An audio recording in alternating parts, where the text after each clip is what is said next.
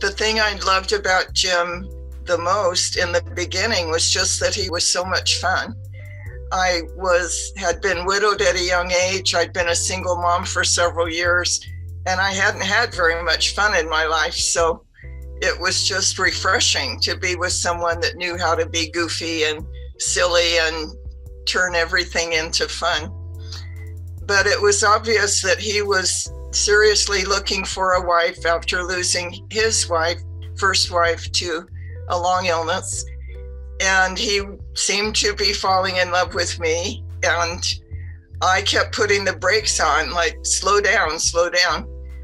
Uh, finally, when I was ready to say, one evening I did say to him, if there's any possibility that we would make a good marriage, I have a few things I'm concerned about that I'd like to talk about.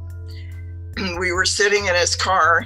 He grabbed his steering wheel and he says, Okay, shoot, tell me what's first on your list. And I actually think that's when I fell in love with him. That he was willing to talk about my feelings, uh, issues, issues that were difficult for me, things that I needed answers to before I could commit myself to Him. and just one by one, I shared with him my concerns, and he answered very honestly, very truthfully, no defensiveness. And um, I liked his answers. Then uh, we, a few months later, we did marry and combined our two families. We had five children between us. Four of them were teenagers, uh, one eight year old tornado that was Jim's. But we had a, a difference of opinion that was started out very small. And in the beginning, we could work it out, kiss and make up, make a new agreement. But as the agreements uh, fell apart, they didn't work long term we each became more and more frustrated. And um, our communication methods deteriorated.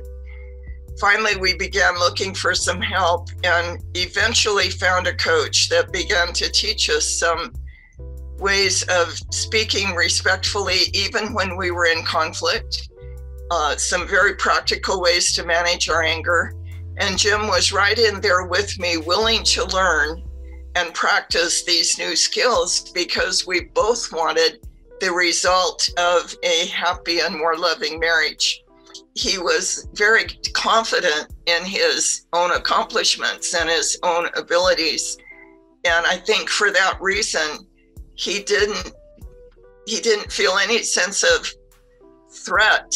The more accomplished I became, the more uh, the more I was able to produce the the more excited he was for me. He wanted other people to be exposed to my intelligence and my skill in coaching. After he passed away in 2005, I wasn't sure that I would keep doing what I what we had been doing together. But after the dust settled, I realized there was nothing else I was passionate about. I still wanted to help other couples achieve the level of happiness that Jim and I had achieved in our marriage. Uh, over the next, it's been 17 years now since he passed. I still feel his belief in me and his support of me.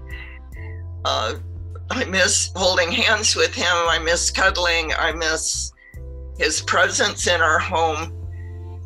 And I also miss the fact that my very best and most enthusiastic cheerleader is not physically present with me anymore, although I still know he's cheering for me.